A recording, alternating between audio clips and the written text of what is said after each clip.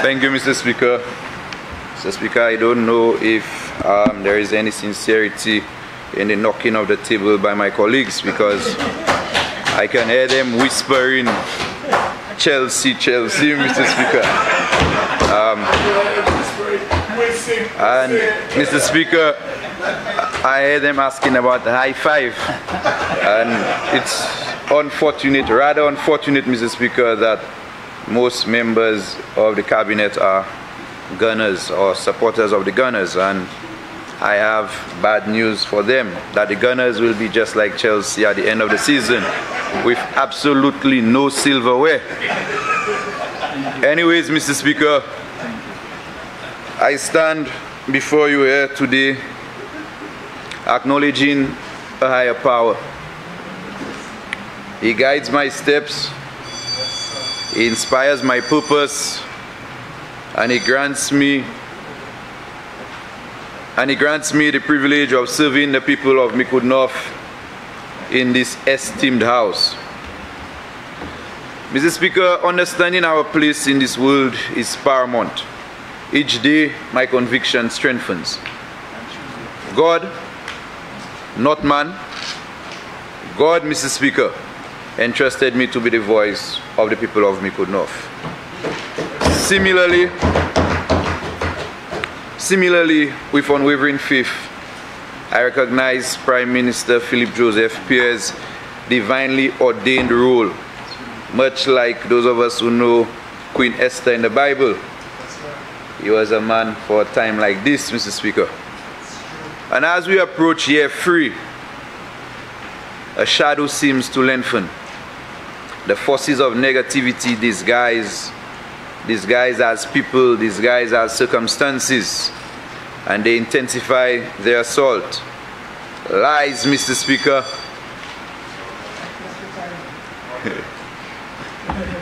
Lies, Mr. Speaker, slander and deceit aim to paint a bleak picture of St. Lucia. But I find solace, Mr. Speaker, in the story of Joseph in Genesis 50 20. And this verse reads, I want my colleagues to find solace in this verse as well, Mr. Speaker. What they intended for evil against me, God intended it for good to accomplish what is now being done, the saving of many lives.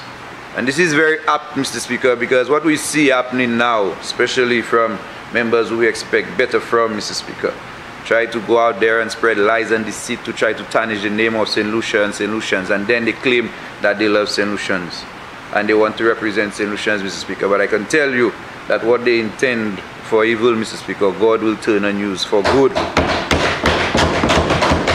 God's grace has touched me. God's grace has touched this administration, and it has touched my esteemed colleagues.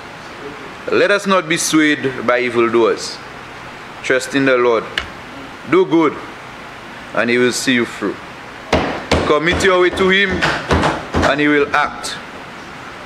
However, Mr. Speaker, doubt lingers. The current opposition consumed, and sometimes when I see the current opposition, I want to have I want to kind of take away the member from Choiseul, Mr. Speaker. I want to kind of take away the member from Choiseul. I have, I have, a, I have a soft, I have a soft point. Yes, we have a good relationship, Mr. Speaker.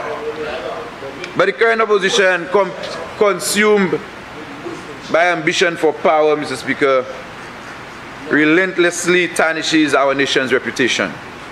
Their hunger, it knows no bounds. And their accomplices, those we hold in higher regard, are a source of grave disappointment. They sow discord, striving to chase away investors and try to destabilize Micoud North and St. Lucia by extension. But you know what I tell them, Mr. Speaker? Their efforts, it's akin to cultivating a male marijuana plant. And if you know what a male marijuana plant does, Mr. Speaker, it flourishes, yet remains barren. Their attempt to chaos will yield nothing. And I choose to focus on more pressing matters. Every day, Mr. Speaker, that odiama ka adubuti siya na adubuta kai parliament kai selman because of moun ki moute desan ek ay vot adida bwet me paske bon de ban mwen opotunite bon de chwazi mwen ki ban mwen opotunite pou mwen sa pale bay Jamikou, pou mwen sa reprezenti Jamikou, epi pou mwen sa fe travay la dat Jamikou, ka mwen de mwen pou fe bay yo. Men nou ni a problem, Mr. Speaker, nou ni a problem kou lani moun an oposisyon nou ekspek pli mer from yo, nou ekspek yo pou pli, ni pli etelijans, nou ekspek yo pou mouche a setel level maturity, Mr. Speaker. Epi, nou ekspek yo pou ni prinsip E pi sa nou ha we from se moun sa ki sa ka di la jwen men se disi, jwen men se disi. Pi sa yo di ek sa yo fe se dedi fwa bagay. Lo ve sa yo ka fe se yo ka ale ale lot peyi, mal pale set lisyen, mal pale di moun ki vle am um, invest sa set lisi, di yo dat set lisi pa bon, bon kote pou invest. Tout kalte mal popte yo ni pou di about set lisi. Ek se moun sa la ka di dat yo vle vin represente J7 Lissi, yo mele about J7 Lissi. E pi mwen sav dat se moun sa la pasa, jemen mele about J7 Because sou mele about a moun, se pa kon wak a tweet yo Mr. Speaker. Anyways, Mr. Speaker, I'm going to move to the pressing matters. The people of Mikunof, and I see I have one of my constituents here with me this morning, Ms. Magdalene, and I say thank you for coming. The people of Mikunof my unwavering supporters, have my deepest gratitude. I say thank you for trusting me to represent your voices. Thank you for trusting me to represent your interests. Your love and your unwavering support fuel my dedication. To my family, the unwavering pillars of my strength, I extend my deepest appreciation. Gratitude also to the Prime Minister and my colleagues for ensuring that Micoud's North needs are met. Finally, Mr. Speaker, I want to say heartfelt condolences to the Stephen family on the passing of Dale, Dale Stephen. Mon Repos and the cricket community and the entire sporting fraternity, Mr. Speaker, we have suffered a great loss. And my deepest sympathy to Miss Fina as well of Monjab and Miss Sharon James, who both lost young men who met their demise, Mr. Speaker, in a very unfortunate way. Now turning our attention to the matter of the 2024-2025 appropriation bill. As His Excellency the Acting Governor General, Mr. Cyril Errol Charles, aptly stated, we have good reason to celebrate and to be proud. The Prime Minister's theme for this year's budget, Building Our Infrastructure for a Resilient Economy, is indeed a cause for celebration and pride for us parliamentarians and the people of St. Lucia. This pride stems, Mr. Speaker, not only from the promise of vital infrastructural development, but also from the Prime Minister's prudent leadership we acknowledge the two-year wait for this focus on infrastructure. However, we also recognize that the Prime Minister prioritizes responsible financial management. Unlike the former Prime Minister, he will not burden the future with excessive debt, as evidenced by his commitment to reducing outstanding DFC loans, which he inherited in excess of $160 million. This dedication, Mr. Speaker, to fiscal responsibility is further exemplified by the Prime Minister's patient approach. He has not yielded to immediate pressures, including some from us within this chamber, Mr. Speaker. He understands, as a strong leader that is, that infrastructure investments must occur at the right time, when the country can truly afford them. This cautious approach has demonstrably paid off. The Prime Minister he has skillfully managed public finances, creating the necessary fiscal space for the initiatives outlined in the 2024-2025 appropriation bill. He strategically waited, Mr. Speaker, until local payables to suppliers were reduced by a significant 70 million from $154 million to $84 million.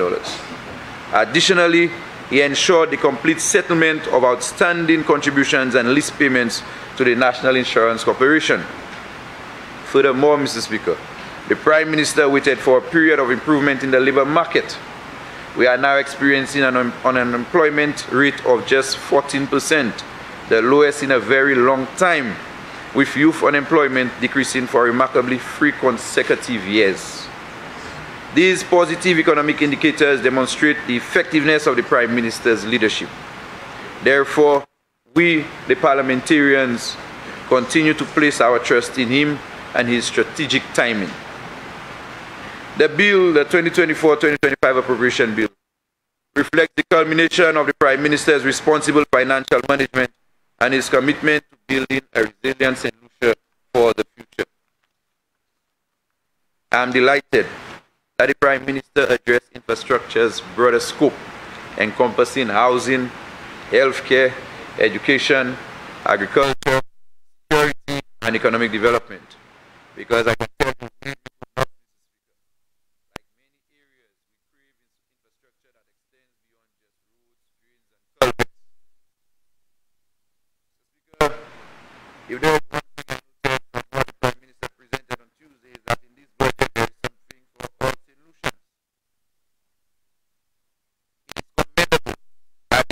the year of infrastructure theme, the budget offers something for everyone. The minimum wage reflects our commitment to the dignity of all One $2,500 payment grant to each of the 93 private early childhood centers demonstrates this government's responsiveness. The Prime Minister's swift action on the banana box shortage, and you heard the Minister for Agriculture spoke to that.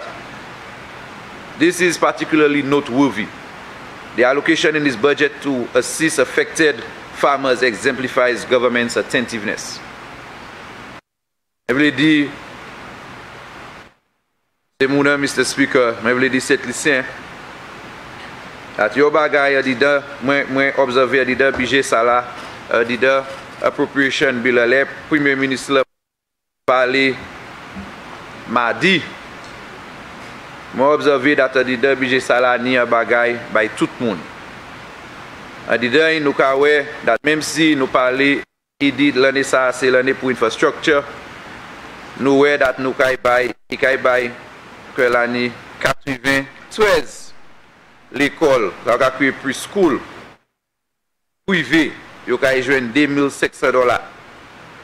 E pi, nou te nan situasyon, E pi minis agrikol pale about sa pli bonè a, kote um, fama fig pate ni bwet pou yote sa uh, mette fig yo, epi a chay um, fama te ni a situasyon pou fig yo te ka gate, epi a mikou ek mè sa mèm palaman pou um, Denry Nod kay pale asou sa osi, because mwen kwen nou se deya de se mounan ki jwen pli afekte pa situasyon sa la, E pi nou ni an situasyon kou, mèm si sa fèt, just lò djou ap, Premier Ministre la, e di sa bagay dat nou ni pou bay atasyon, epi nou kay bay se fama asistas, yo kay jwen imete mekwe 600 mil dola, 600 mil dola di de bijya pou bay fama setisyan ki ped fig because se fama ka travay wed, yo ka kontributi um, epi yo ka pey taks kon tout moun, epi men pa kwe sa ki wive yo,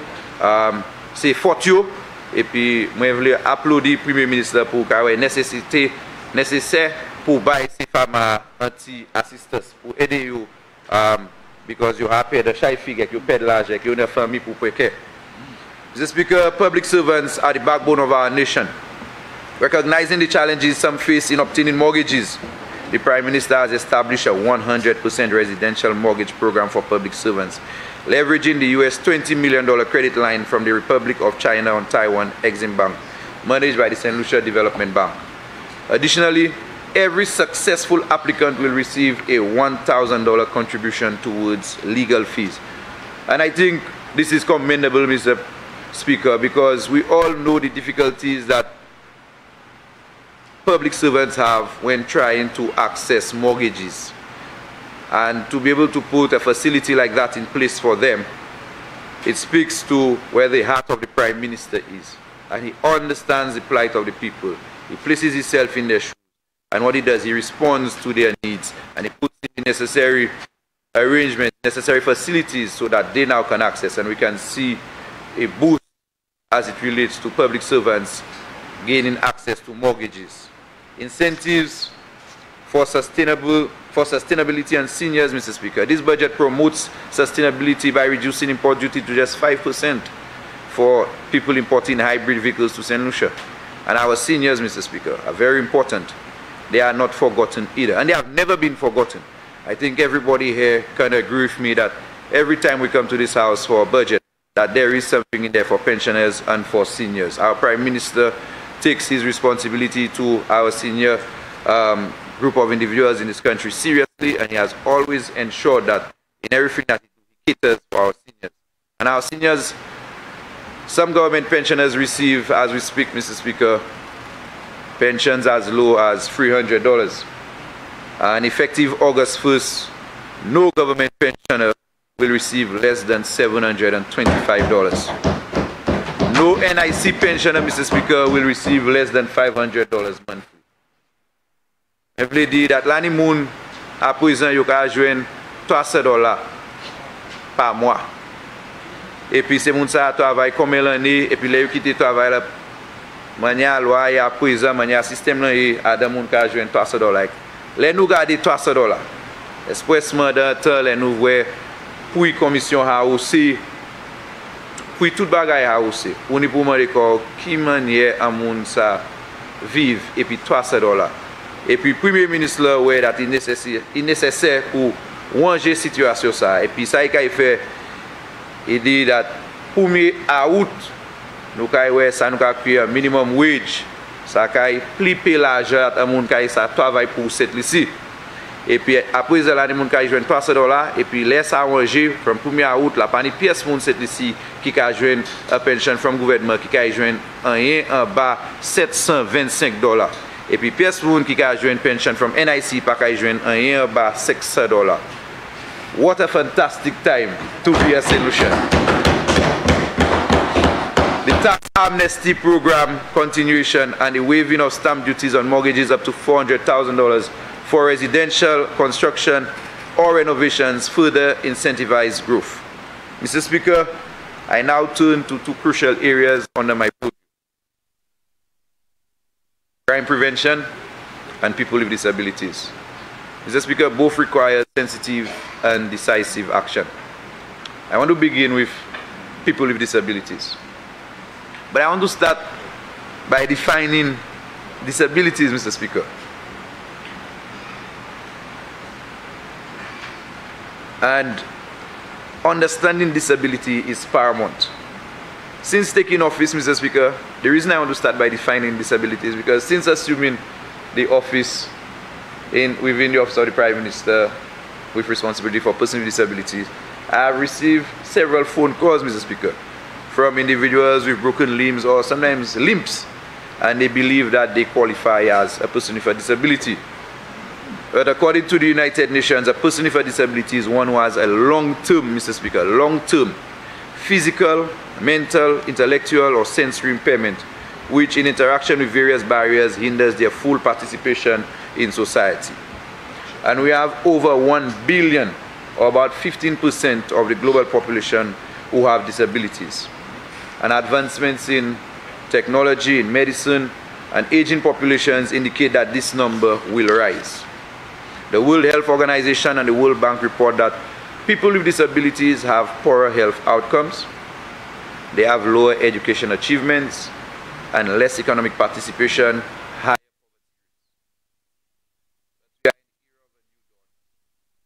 Prime Minister Philip J. Pierre recognized the need for a disability portfolio. I'm grateful, Mr. Speaker, for the opportunity to champion their cause.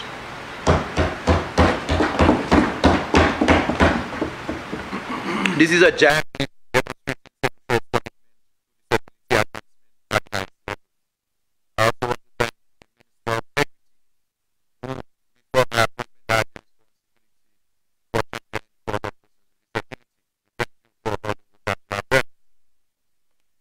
When you look at our progress, Mr. Speaker, St. Lucia ratified the United Nations Conventions on the Rights of Persons with Disability in June 2020. And what this does, it safeguards and affirms the human rights of persons with disabilities. However, we need to look at the path forward. And as a state party to the convention, we must enact disability-specific legislation to effectively promote and protect their rights. I have been in dialogue, Mr. Speaker, with persons from the National Councils of and for persons with disabilities, and I am convinced that the time is now. The time is right, Mr. Speaker, for a St. Lucia Disabilities and Equal Opportunities Act. I am convinced that the time is now, Mr. Speaker. And me being in this current position, Mr. Speaker, is just testament that the time cannot be tomorrow, it has to be now. And collaboration is key in all that we do. And with the Prime Minister's support and with his endorsement, my ministry will lead the effort collaborating with disability organizations and the AG chambers to create our first comprehensive legal instrument for promoting and protecting disability rights.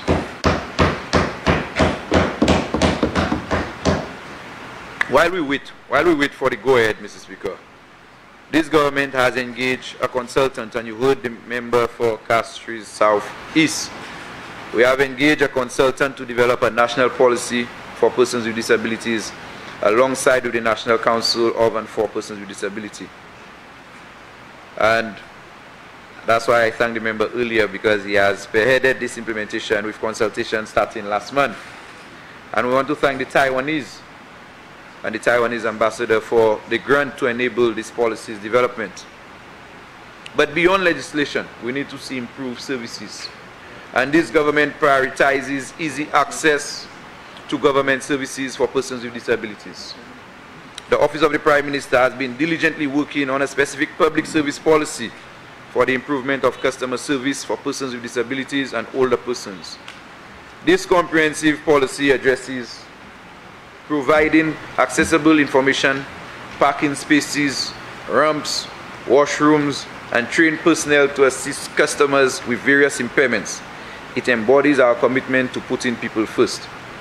And Mr. Speaker, as I speak about this comprehensive policy, this morning and I think sometime last week, and that's why I said I think the time to work on this piece of legislation is now, so that we can actually cause for the enactment and for the execution of the policy. Because this morning, Mr. Speaker, um, and I think sometimes, sometimes, Mr. Speaker, most times, more often than not, I drive myself.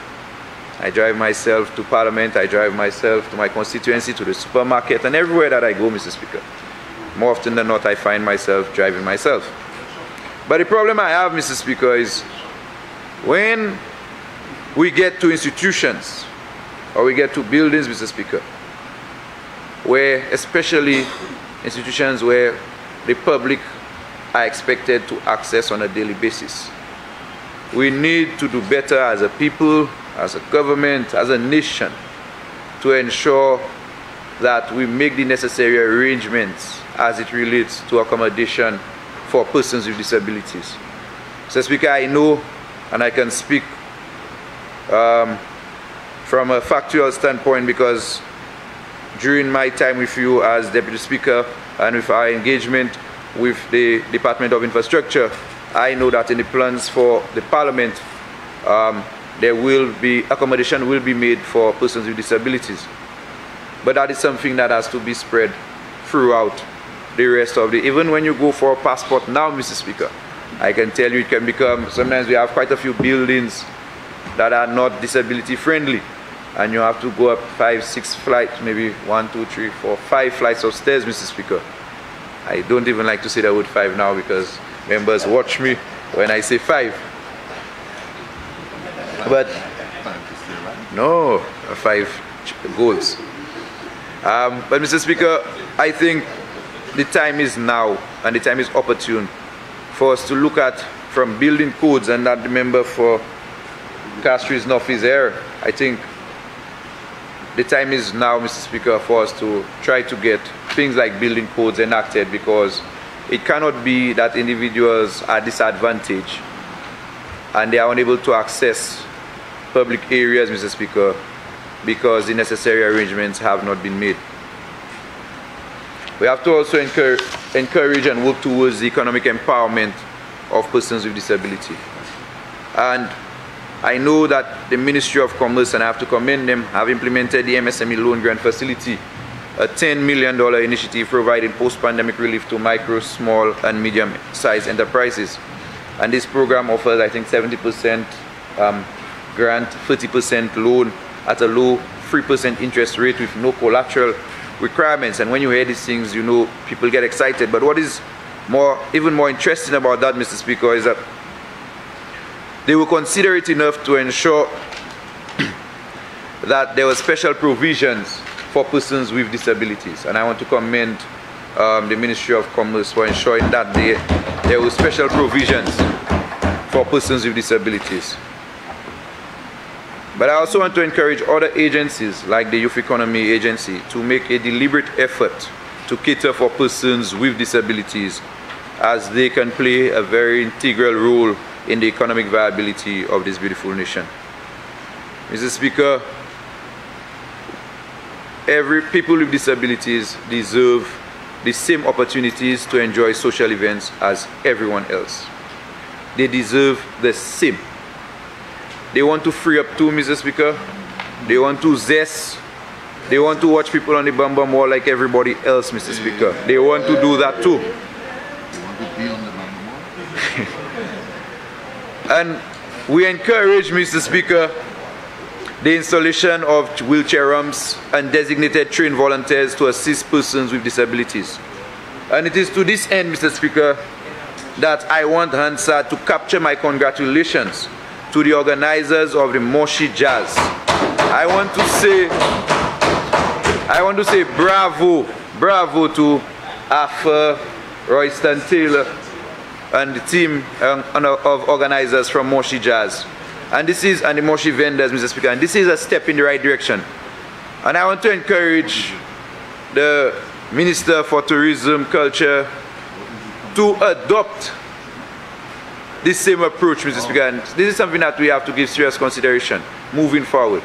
Because I know individuals who would love to attend jazz. They want to attend carnival activities. And I know that it may come at an extra dollar, but they are worth it, Mr. Speaker. They are worth the investment. And I see, and you heard Sean said Tristan would love to attend jazz. Tristan was the recipient of the um, motorized wheelchair. I want to thank the Minister of Education and his team. And all of us have a part to play, but I want to say to the Minister of, of Jazz and Arts, creative culture. I want to say to him that we should make a special attempt, Mr. Speaker. We should make a, a special attempt to ensure that persons with disabilities are able to access these events. As I'm speaking to the Minister of Tourism, Mr. Speaker, I want to tell him that there is a very nice market, tourists with disabilities market. And we have a beautiful island. Year after year, we continue to capture prizes for tourism on the global stage. There is a real market for tourists with disabilities. And believe me, Mr. Speaker, they have money. They have money. No, not me. I said tourist. No. One, there's a market that is worth billions annually. And it is high time that we started thinking of expanding our market to tap into this very lucrative market. Accessibility is crucial to our tourism dependent nation. Many destinations fail to capitalize on this potential due to lack of accessibility. And this lack of access costs destinations like ours millions. I plan to work closely with the Minister of Tourism and Infrastructure to ensure that St. Lucia is a competitive and attractive destination for disabled tourists particularly regarding our major attractions. Think about it, Mr. Speaker. Let's think about the Sulphur Spring. For example, our history boasts of the therapeutic benefits of the Sulphur Springs. All of us know, or for one reason or the other, we go to the Sulphur Spring for a bath. Se moun akado sou ni problem, moun chagwen, ay pou an ben souf. Ou kwa yo ma ou, ay pou an ben souf. Tout. Ek yo sou malad, ay ben souf.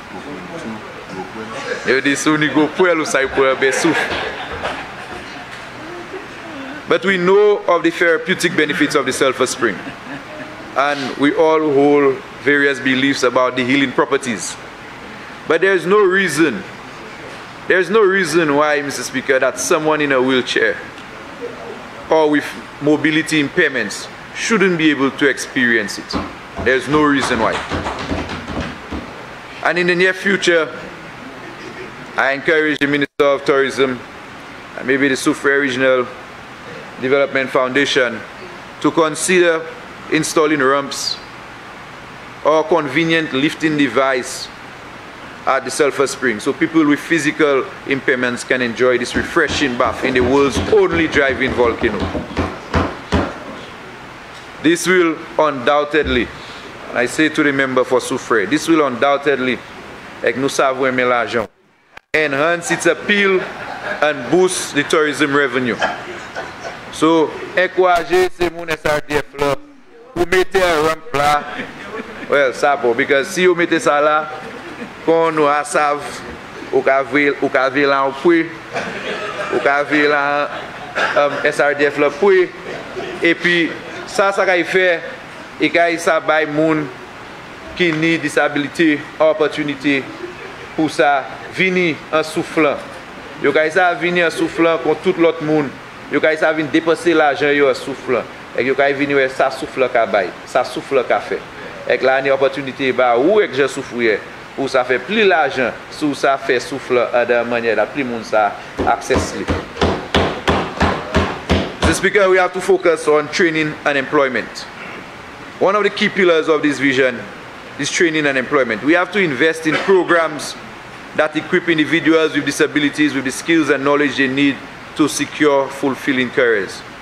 These include supporting vocational training programs that cater to the diverse disabilities, providing targeted skills development, partnering with businesses, and that's very important, partnering with businesses to promote inclusive hiring practices and offer necessary workplace accommodations. And Mr. Speaker, we have a situation, and that's why I say it has to be, I look forward to the, the national disability policy because one of the reasons, one of the hindrances, one of the deterrents why a lot of business um, entities do not hire persons with disabilities because they do not have the necessary infrastructure to accommodate these individuals. But if we have a situation where we enact building codes to ensure that all buildings are accessible, what it does, it gives persons with a disability a greater chance. And then employers are more likely now to employ persons with disabilities since their buildings would become accessible. We have to enact fair and effective minimum quota legislation that encourages businesses to hire qualified individuals with disabilities. And we also have to empower free education. Education is the cornerstone of opportunity, and we have to ensure that our education system is fully accessible and inclusive. And this includes investing in accessible learning technologies such as screen readers and assistive software, providing specialized training for educators, to support students with diverse needs and offering, a offering university scholarships specifically for outstanding students with disabilities, fostering their academic excellence. We also, Mr. Speaker, have to celebrate the achievements and expand the support system. People with disabilities process, they possess, sorry, incredible talent and resilience. And we have to celebrate their achievements through special events like the Special Olympics, Mr. Speaker, and the Paralympics, showcasing their athleticism and their determination. Furthermore, we recognize the need for ongoing support. Providing financial relief to alleviate the financial burden of disability, ensuring basic needs are met. And I know that through the public assistance program that there's a component that deals with disability. And Mr. Speaker, I'm hoping that um, I'm due to have a conversation with the consultant very soon, and I'm hoping that part of the things that they captured is a review of the amount that is paid to persons with disability because disability goes beyond just the individual. It affects family members, Mr. Speaker. And we have instances where, because we do not have um, the appropriate accommodation for persons with disabilities, parents are forced to stay home to provide and to care and nurture for their children with disabilities. So now it's not just the uh, child with a disability.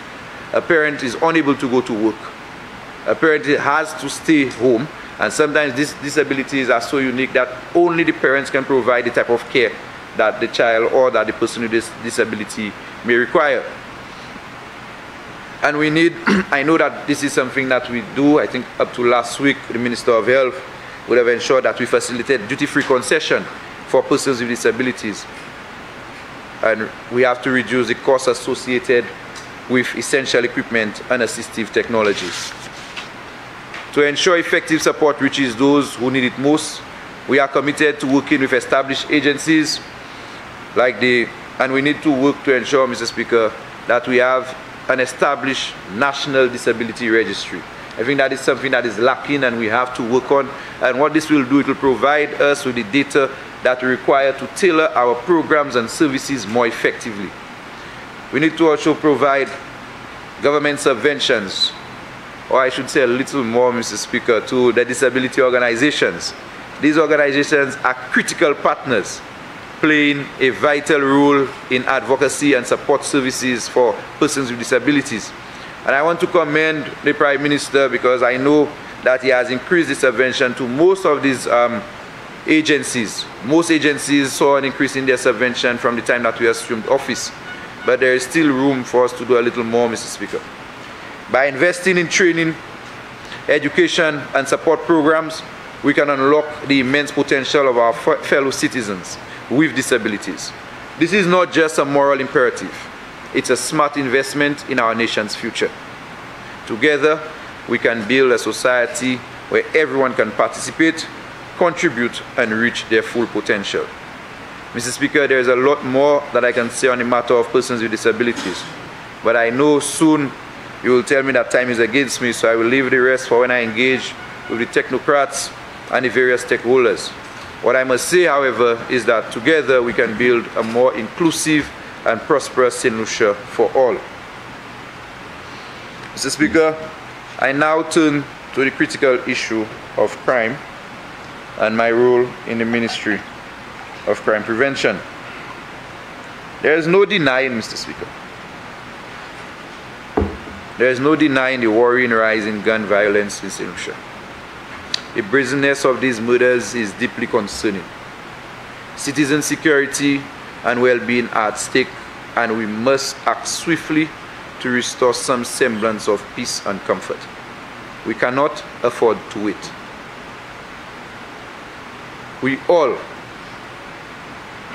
and I mean everyone, including myself, Mr. Speaker, I don't exclude myself, we must develop a zero tolerance approach towards crime. But before I delve further into the crime situation, I must address the opposition's disgraceful, distasteful, and frankly embarrassing approach to crime. Their sole focus, Mr. Speaker, seems to be the Prime Minister's resignation. During the administration, despite rising homicides. I don't recall calls for the then Crime Minister's resignation. While they criticize, we welcome stakeholder meetings. The Prime Minister, in his deliberation on Tuesday, was right when he emphasized the distinction between enforcement, that is, the police responsibility, and the broader interventions, which is civil society collaboration. And you can see, Mr. Speaker, the stark contrast between the two administrations. And this stark contrast speaks volumes. Recently, I heard the opposition about a week ago advocating for stakeholder meetings on crime, and I applaud them for that. But what I must say is when these calls are made, we must ensure that we make them with the utmost sincerity and not just to try to be, um, appear or purport to be something that we're not. The Prime Minister that I know always open to ideas. In fact, I have been receiving suggestions and proposals from various individuals, both locally and abroad. And once this budget wraps up, Mr. Speaker, my primary focus will be twofold. Launching initiatives to combat the current crime surge and engaging stakeholders in crafting a comprehensive national crime policy. Honesty is paramount. We must acknowledge the roots of this problem. We did not reach this point overnight, nor will the solutions appear by sunrise. And we cannot appear to be disillusional and try to mama guide people and make them believe that the answer is somewhere in a drawer that you go and open and you just pull it out. That's not how it works, Mr. Speaker.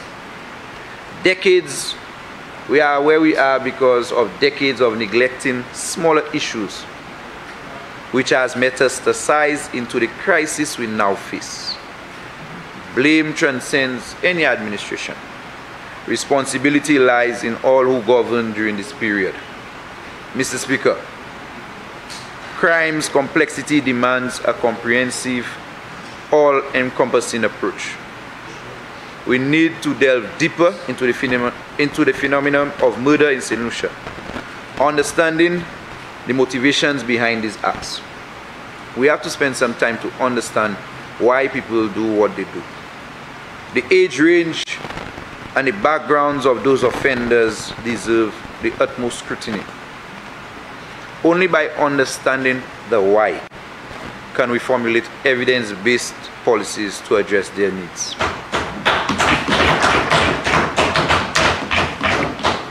The burden of crime falls on everyone.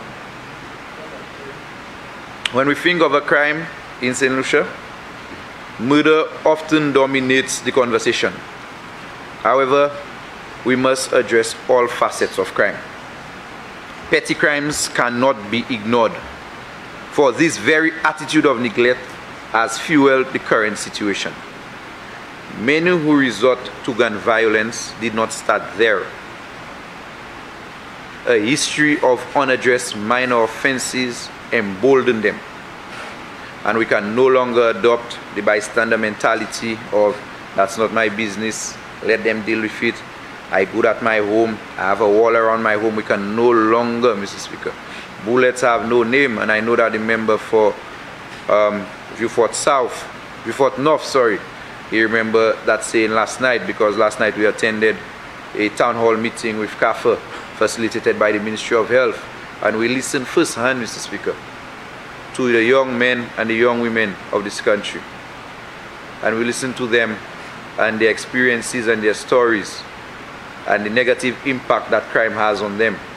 And how can you not feel emotional when a child tells you, Mr. Speaker, that they are forced to stay in class, notwithstanding that they're hearing gunshots on the outside, not knowing where these gunshots are coming from or who is going to hit?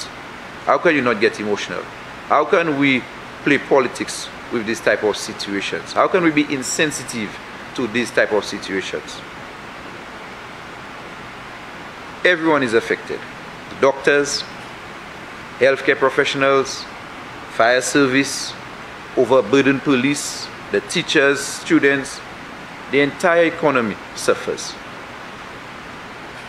Mr. Speaker, mwen vle di dat krim se ki kompleks. E pi isi e situasyon ki kay brizen nou servi tout sa nou ni pou nou sa adwese problem krim sa la. Nou ni pou gade se mounan ki ka fe se krim sa la. Kote se moun sa ka soti. Ki kalite kay yo ka witen di dan? ki laj se moun sa la. E se nom e be se fam. E pi le nou kopan se bagay sa la, le nou nou nou nou ni tout informasyon sa la. Nou ka di de pozisyon pou nou sa mette bagay di de plas. Pou try mene situasyon krim sa la an wek. Le nou kopan pou ki sa moun ka fe, sa yo ka fe a. Paske la ni an wezon. La ni an wezon. E pi nou, ped, nou apèd adan jenès nou. Me nou stil ni an chay pli. E pi la ni pli moun set li si. Ki ni bon tè tè yo. Pase la ni moun ki ni mouvesti. E pi paske... Ek se konvisyon sa la mweni. Ki ni mwen isi a hodi ya. Ki ni mwen ka pale ban situasyon krim sa la. Krim ka afekte tout moun. E pi le nou pale ban krim an set li si. Majorite se tan, majorite se le a moun ka kwe le nou pale about krim an set lisi dat nou jes ka pale about sa ka krim mwede ebe le a moun mor. Me krim ka ale pli lwen pase sa. Epi nou ni pou adwese sa nou ka kwe se ti krim lan. Se ti bagay lan nou ni moun ka pase epi yo. Member you have 15 minutes left. Thank you Mr. Speaker. Se ti bagay sa la, le nou kite yo epi nou pa adwese yo, yo ka toune gro bagay. La la ni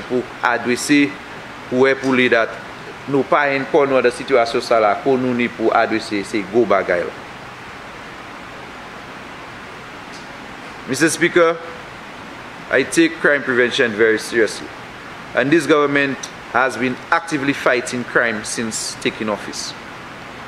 We have strengthened legislation and enforcement. We have reviewed and strengthened legislation like the Firearms Act. However, effective policy requires proper enforcement. It is this happening, Mr. Speaker, to see repeat offenders back on the streets shortly after arrest this weakens deterrence and demotivates the police. And I say, Mr. Speaker, that we need a more efficient criminal justice system. Only this morning I read an article where three individuals, I think came out just after 11 this morning, Mr. Speaker. Three individuals again got bail for firearm-related offenses, Mr. Speaker. Mr. Speaker, we have police officers who put their life on the line every day. They go out there, we hear the situations. And I'm not saying that somebody should not be given bail, Mr. Speaker. That's what I'm saying. Mr. Speaker, it is heartbreaking to see. Se kwev chep pwe dat ou awite moun. E pi pa mem ni dejwa pou awite moun sa la. Moun sa la. E kwa awite yo, ou an fizi, ou awite yo, jwen yo pi an fizi. E pi dejwa pwe, yo avye a sou chimen, yo avye a sou la, yo ka fe pli bagay, toujou. Ou ka mande, si ou me kor di dan sou le polis men, me kor situasyon polis men, ou ka kite fan moun, deye, oui ou ka pe ou pou fe travay ou, me lò ou ka fe, pli mè ou pe, tout sa ou sa fe ou ka fe, epi lò ou e, apou ou fe tout sa ou ka ou e, dat se moun eh, pa mèm ni dejwe be to ajou yo avye do. E pi la ni moun ki avye do, e pi yo avye fe, yo avye chebe yo pi fizek, yo avye do ko, e pi yo kamande. Es sistem justice la. Es i ka travay man ya suppose i travay. So for that, Mr. Speaker, I think that we need to strengthen the criminal justice system. The Prime Minister outlined police support initiatives on page 45 of his presentation. I heard the upgrading of police facilities, $2.7 million, and that is crucial in order to create a comfortable working environment. Equipping the police is vital given the escalation in gun violence. And we saw the recent purchase of firearms and ammunition, which is supposed to enhance their capabilities. Additionally, the police receive furniture, they receive equipment, they receive cameras, $5 million worth of vehicles. And as I say vehicles, Mr. Speaker, some claims that these are replacements, not additions. But I say regardless, Mr. Speaker, regardless if it is replacement, this government has provided more resources to the police than any previous administration. But notably, but notably, Mr. Speaker, under the last administration, there were very little to no complaints from the people who were supposed to be the voice of the police, notably. Major repairs for police stations are on the way, including the construction of the Northern Division headquarters. Additionally, a building on the Upper Bridge Street is being retrofitted and it will have nine holding cells. We see forensic enhancements, forensic lab, including the recent acquisition of a ballistic comparison microscope. We see justice system investment, only last week, Mr. Speaker, I think we um, were just outside this building where we witnessed the sorting ceremony for the new halls of justice, and this signifies commitment to a swift justice project. Moreover, Mr. Speaker, we saw the reinstatement of police training vote, which demonstrates our ongoing support. Additionally, improvements are underway for the Bordelais correction facilities. And these initiatives combined will significantly impact crime reduction. And we need a well-oiled crime fighting machine where all parts function harmoniously. Like a car, a faulty gearbox hinders performance. Effective implementation of these measures will greatly assist in our fight against crime. But that's not all, Mr. Speaker. We have only focused on measures to deal with crime and criminality after it has happened. How do we deal with it after it has happened? But a national crime prevention policy must be holistic in nature and must prioritize preventative measures. Data-driven approach. In order to be effective, we need empirical data on the crime situation. We need to collate, and I know that some research have been done, we need to collate all existing data and conduct further studies to identify the areas most in need of addressing. Mr. Speaker, we are aware of the importance of social programs in the fight against crime. Programs like Our Boys Matter. These are essential as they provide critical support for youth at risk of dropping out of school. And I think over 100 boys will, will beneficiaries from that um, program. There is a need to increase opportunities for economic empowerment, especially for young people. And that is why we set up a youth economy agency. And we've seen close to 600 recipients benefiting from this program. And this demonstrates, what this does, it demonstrates the effectiveness of this approach. But we have to continue expanding training opportunities and fostering partnerships with private sector to create a thriving youth economy. In our attempts, we have to also ensure that education and upskilling happens. And in our attempts to provide more educational opportunities, I know that the Ministry of Education has embarked on TVET program. And this is crucial in providing marketable skills and reducing vulnerability to crime. What this program does, Mr. Speaker, it allows for opportunities beyond academia. And it would seek to address some of the insecurities and some of the feelings of inferiority faced by citizens who are not employable due to their lack of skills, values, and attitudes. Mr. Speaker, I've said all that to say that we are aware of the complex nature of crime, and we are happy to embrace a holistic approach. We have been using a multifaceted approach to deal with this crime phenomena, and I don't think that we should try to reinvent the wheel, but rather we should acknowledge that effective crime prevention and reduction requires multiple stakeholders working at the macro, meso, and micro levels. The National Crime Prevention Policy should take into account the substantive roles that some agencies and organizations already play in this effort. Therefore, while the government will provide leadership for advancing new initiatives and enhancing, and enhancing existing interventions by ministries, departments, and agencies, we will also work collaboratively with non-governmental organizations, the private sector, labor, and I say labor, that is why I brought the issue of the minimum wage reform, Mr. Speaker, and other critical stakeholders to enhance the scale and speed of delivery. The intention is to coordinate and collaborate with all relevant stakeholders, organizations, and individuals to ensure the effective delivery of a national plan. We can no longer afford to implement measures just for implementing measures' sake. We need to ensure that the programs, measure, and policy that we implement are smart. Mr. Speaker, there is also the need for accountability their accountability has to be freeway. And I think something similar um, happens in Barbados, where the government will be accountable to its citizens for the implementation of agreed strategies for the prevention and reduction of crime. Second, layer of accountability is where the implementing ministries, the agencies and organizations will be accountable to the government, clients and partners for transparent and effective implementation and citizens will be asked to play an active role in preventing and reducing crime through their active engagement and providing feedback to the government.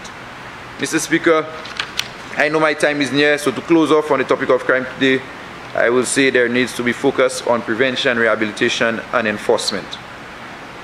And just last evening, I attended the town hall meeting facilitated by CAFA with the Minister of Health, and I heard firsthand from the young people of this country. And they highlighted several key areas for expansion. And we are going to give serious consideration to these areas. Diversification of the education curriculum, after school enrichment activities, greater parental involvement, strengthening family and community institutions, addressing poverty and wealth disparity, creating safe spaces. And it's not that we are not doing most of these things already, Mr. Speaker, but it speaks to the need to expand on some of what it is that we're already doing. We are aware of the challenges, particularly of the porous borders and illegal firearms. And I think, Mr. Speaker, that we should, although people may think otherwise, I think that we should pursue a firearm amnesty program, but not one where we buy back firearms. I don't support one where we buy back firearms, but one where you bring back your firearms because you know that is the right thing to do. If you have an illegal firearm, you bring it in and you will not be charged. And we'll be intensifying police efforts to bring illegal firearm holders to justice. So you will not say that you did not get an opportunity to turn it in. The police have our full support. As long as they operate within the law, the police have our full support. And I know that we will regain the public trust and work to make St. Lucia a safe place for everyone. A lot more will be said, Mr. Speaker, as it relates to crime in the coming weeks. But let me just take a moment to see how these government policies impact Micoud North. First, Mr. Speaker. You have five minutes left. Is that sufficient time, Mr. Speaker? First, Mr. Speaker, the Micoud Jetty repairs on page 43. I'm thrilled to report that this work is nearing completion and the refurbished washrooms will open next month for our valued fishermen. Several constituents, Mr. Speaker, have benefited from the MSME loan and youth MSME loans grant facility and also from the youth economy grants. And this is a fantastic support. This is fantastic support for our local businesses and young entrepreneurs. Speaking of, of infrastructure, although I don't see the member with responsibility for infrastructure here, I anticipate that Micoud North will be a significant beneficiary this year as it relates to roads. The diaspora investment bill, Mr. Speaker, that the Prime Minister mentioned is something that I eagerly await because I have quite a few constituents who are living in the diaspora and they are ready to invest in their homeland. Mr. Speaker, the cemetery in Mon Repos, the works are progressing there beautifully, Mr. Speaker. And I look forward to the start of the works at the Wen playing field. I know that this will be happening very soon. Immediately after the Cricket World Cup, we should see some physical activity happening on the ground at the Wen playing field. So, Mr. Speaker, those people who said that they would, would not see the jetty, I can tell them that the jetty is there and the jetty has happened at a rate lightning rapidity, Mr. Speaker. And I want to commend I want to commend the contractors for the work that they've done and notwithstanding the pace at which it's done, I can tell you that this jetty, Mr. Speaker, is more solid than that of Servants and Prowling put together. That is the quality of the jetty that the fishermen in Micoud are going to receive. Mr. Speaker, the Patience Early Childhood Center. Works are ongoing on the Patience Early Childhood um, Center and I know that I'm hoping that when I'm hoping that when the when when September comes that we can see children being enrolled at the Patience Early Childhood Development Center. Mr. Speaker, in closing, I just want to commend the Prime Minister for prioritizing people-centric policies. I thank the fantastic people of Micoud North for their continued support, and I promise them that this year will be truly exciting for our constituency. Thank you, Mr. Speaker.